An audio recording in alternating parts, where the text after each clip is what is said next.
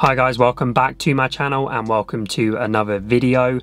This is a very exciting video for me to be finally making as I can now reveal my new project car, a 2001 Audi S3. it feels good to say that. This has been a very long time coming.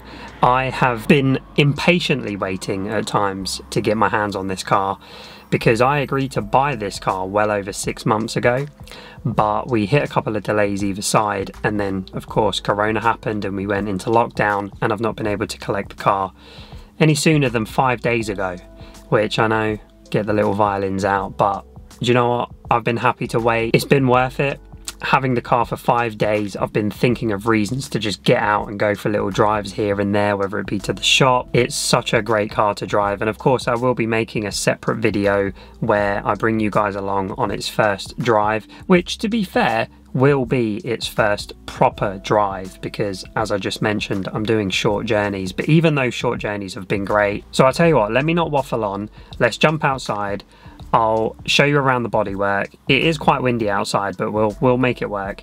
And then we'll jump back inside. I'll show you around the interior. I'll explain briefly what I plan to do with the car, and then we'll wrap this up. So let's let's get out and have a look. Okay, guys. So here is the car. As I mentioned, it's in Imola yellow.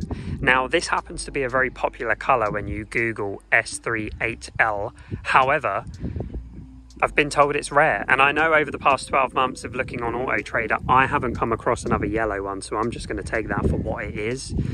Now, another thing I mentioned was the alloys. I don't believe you could spec these. I'm pretty sure these are from a TT, which would explain the name of them, I guess. They are RSTT 18 inch. Each of the alloys is pretty much in this condition. So you can see we've got pretty bad scuffs all round. There's some chips. The center caps are pretty much annihilated. So I need all of these refurbed, which I will be doing.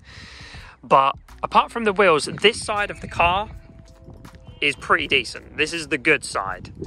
Um, just one thing to point out are the rear windows, which I think is really cool. They actually pop out. I don't know, I just think it's cool. Um, all of the trim still on, which kind of hints at where we're going with the other side. But before we do, let's take a look at the front. Oh, actually, I did have to replace the two front tyres, which I've done already. When I collected the car, the tyres that were on here, yeah, they were definitely on the limit. So I've got new tyres on. It's got um, Goodyear F1s all round, Eagle F1s. They're not the super sports. These are asymmetric fives and the rear are asymmetric threes. If we head to the front, the front is pretty much in good condition. The only thing about the front is the front bumper and the bonnet need res- respraying. Um, now, I make that sound like it's a really small task, but what I'm referring to is there's no cracks or dents or anything like that. But what we do have, which hopefully you'll be able to see, is some really bad stone chipping. The bumper is pretty much peppered everywhere, and the kind of front half of the bonnet is where it's worst. So I'm going to get both of these resprayed. I've already used a headlight restoration kit and they've come up okay actually. I'm going to try again just to give it another go over. I used a moderate kit, which is the one without the drill. I think if they don't come up any cleaner, I will try and use the drill instead. Another thing I'm considering is the, uh, I don't know why I was pointing there. Another thing I was considering is the front grille. Do I keep this chrome grille or do I change it to a black grille? I don't know. Metal press plate looks pretty cool. Both of the fog lights work. Again, pretty cool. I'll show you under the bonnet in a minute. If we go around this side, this is where things get a little trickier in terms of what needs doing. So we have our only piece of visible rust, which is just here. Um, it's kind of starting to work its way up the wheel arch, so I'm going to need to deal with that ASAP. And the door trim is missing. Now, fortunately, I do have the door trim. It fell off the other day whilst I was driving the car, so it's in the boot. And I need to refit it, but I've been trying to think of the best way to do that. So, typically, well, not typically, but when this car would have been delivered new, you can see that the, the trim was actually attached via these nut and bolts. There was three of them inside of the door. And this white plastic trim that you see here was stuck to the actual exterior trim. And then what you did was you slid it onto the door and then you'd screw it in. But what people do is they remove these bolts because they can corrode and cause rust within inside the door. So the previous owner has done that and they've decided to glue this plastic to the door and then glue the trim over the plastic, which I think did the job, but over the years it's began to crumble away. And when I collected the car, the trim was coming off up that end. And for whatever reason, I guess the vibration, etc., has just caused it to completely fall off, fall off, sorry. So I need to get that sorted because it's kind of messing with the whole look of the car and it makes it look like a bit of a heap. So I'm going to be getting on that ASAP. The other thing to point out is our only dent, which is just here. You can see it's kind of a very small dent. It looks like a stone or something has hit that pretty hard. But considering that is the only dent, that kind of gives you an overall idea of the the condition of the car considering it's nearly 20 years old. Before we head up the back, the other thing is the sunroof. Now, I believe these were optional. Don't quote me, but I just don't remember seeing many other S3s of this age with sunroofs. I might just be forgetting, but this one has it. It's electric, which is pretty cool, and it works, kind of. So it opens fine, but the only problem is it closes halfway. And the other day I was messing around with a key because I wanted to know if you held down the unlock button and lock button, do the windows go up, down respectively, which they do. But in testing that, the sunroof opened and it was a bit of a panic. I closed it manually using the Allen key socket inside the roof. But I was being a little impatient and I wanted to get it closed quickly. So I used a socket and or a wrench and uh, I think I was a little too aggressive because I nearly rounded the screw and it was a real bum clenchy moment because I thought the sunroof was going to get stuck open. Fortunately, it's closed. I'm not going to be opening it again, opening it again until I have a replacement nut and I can look at the motor to see why it's not closing the whole way. I have already used some lubricant spray on the rails of the sunroof to see if that would work. It hasn't really made much of a difference. So let's have a look at the back. I think the back is possibly my favorite angle of the car. I just love the way that these are kind of squatted down and a bit fat at the back. They've got a bit of a fat booty vibe going. I replaced the metal plate because it came with the car. It had the original plastic uh, rear view plate. Rear view plate.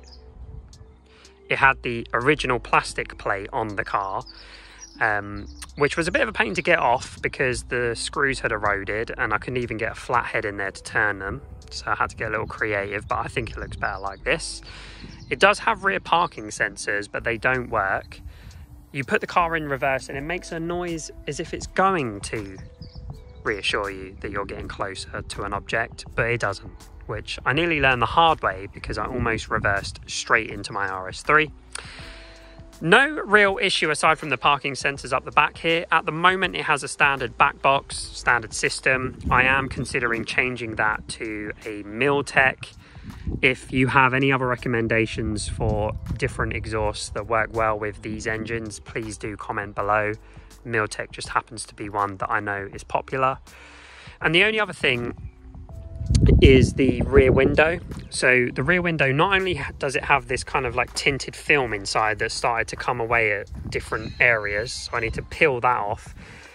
It's actually the seal outside that I also want to try and work on because it's crumbling away and I was jet washing the car the other day and loads of it just flew out all over the floor. So I'm either going to try and reseal it or have the windows retrimmed if you know anyone that could do that, again, let me know. Parcel shelf is missing at the moment because it has a piece of wood in it that was for the parcel shelf speakers that did not come with the car, but the wood was rattling. It was annoying me, so I took it out. But I think that looks pretty good up the back. Now, I just mentioned I jet washed the car. I will include some footage now. If I don't have footage, I'll show some pictures now of what this car looked like when I collected it. It was a complete state. And the reason for that is because for the past nine months, I want to say, maybe longer, possibly a year, this car has been sat in the same place in a workshop, just collecting all sorts of mold, grime, dirt, and leaves. It desperately needed some attention. And it wasn't just on the outside, it was also on the inside.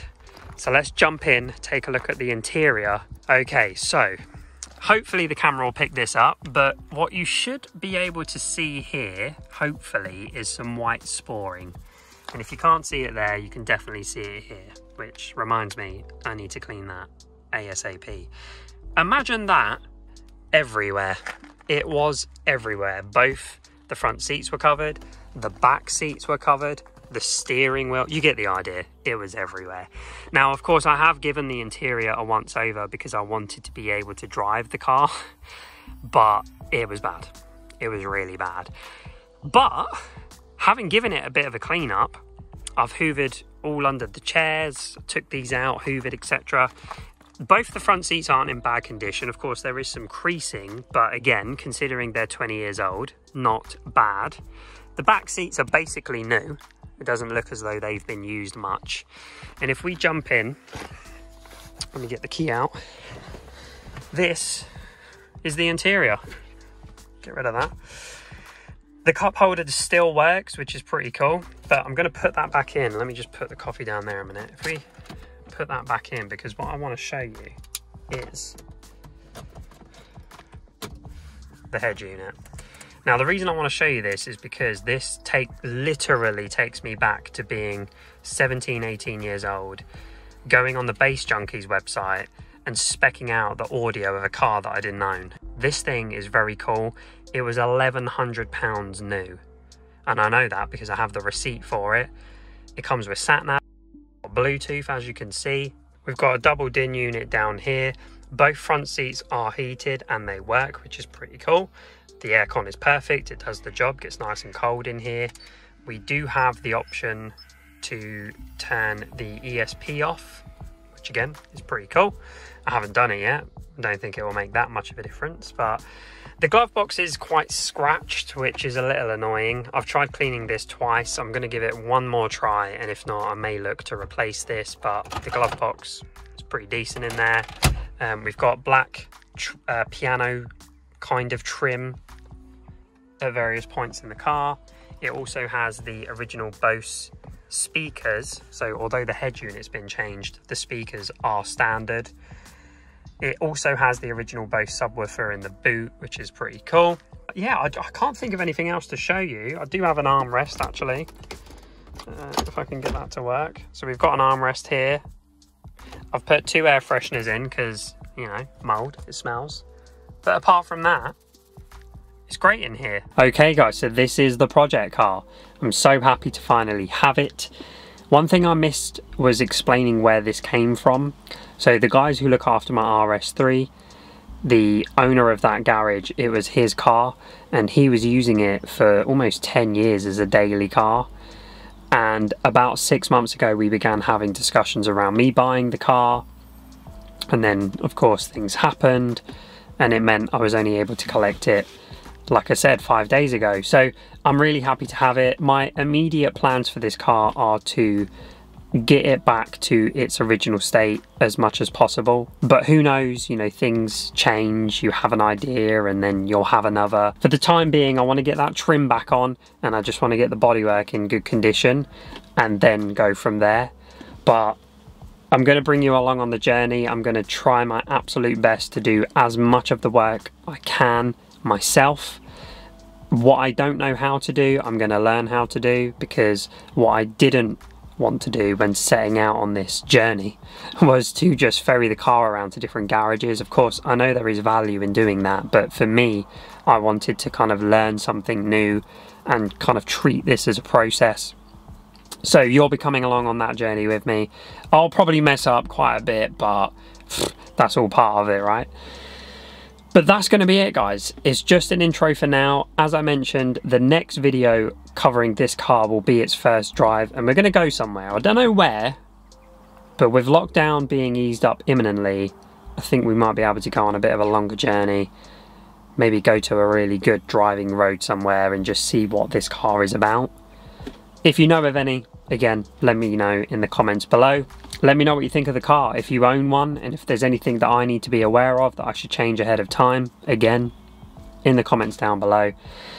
Please do like this video, it really helps, and if you're not subscribed already, don't forget to subscribe to my channel to keep up to date with this project. And until the next video, guys, have a great week. Peace.